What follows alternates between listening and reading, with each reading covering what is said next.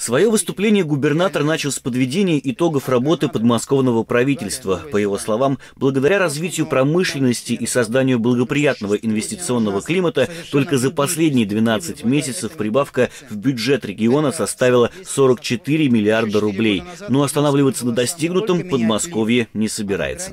Мы благодарны всем, кто внес вклад в экономику нашей области, особенно флагманам Сбербанк, Аэрофлот, Шереметьево, наши предприятия оборонной, космической промышленности. Перед нами стоит задача каждый год прибавлять, увеличивать доходы бюджета. Наша цель – триллион. Только тогда мы войдем в пятерку лидеров по обеспеченности на каждого человека.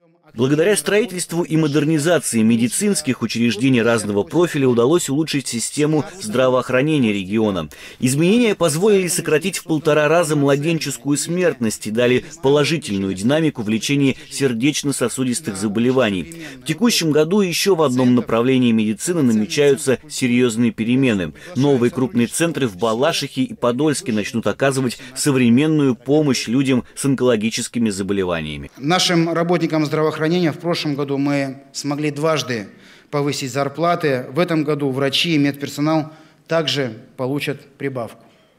Вообще увеличение а, заработной платы мы строго ведем в рамках исполнения указов президента и выполнения соблюдения дорожной карты.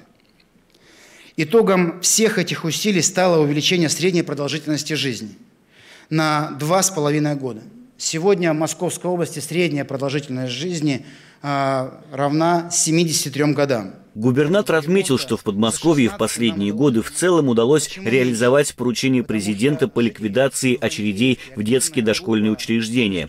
Теперь важно полностью устранить вторую смену в школах. Задача должна быть решена к 2020 году.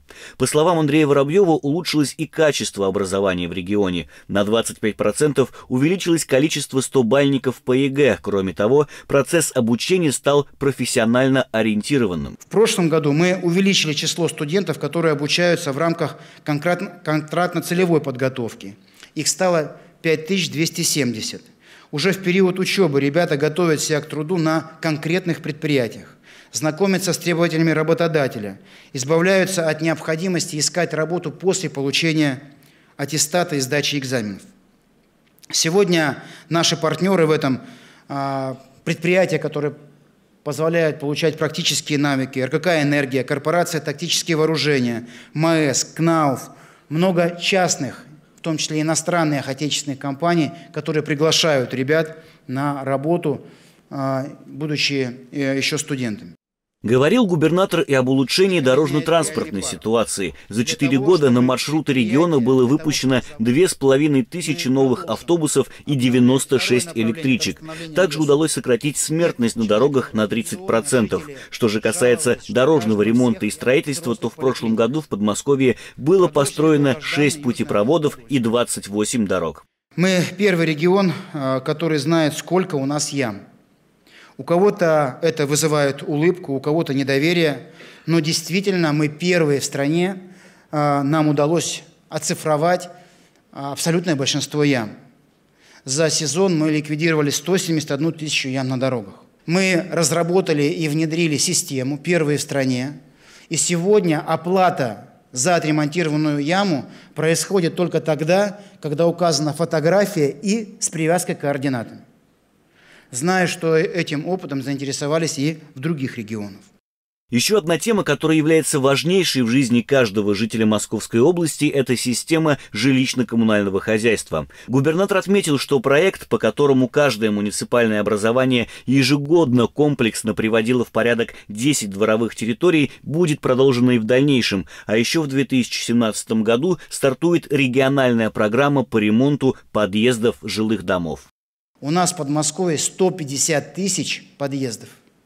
Соответственно, выделяем 1,7 миллиардов рублей для того, чтобы оказать софинансирование управляющим компаниям по а, реализации этой очень важной программы. Не обошел вниманием Андрей Воробьев и наступивший год экологии. Как отметил руководитель, в течение 2017 года на территории Подмосковья будут реализованы несколько глобальных проектов по сбору и утилизации мусора. Продолжится работа по посадке деревьев и восстановлении водных объектов.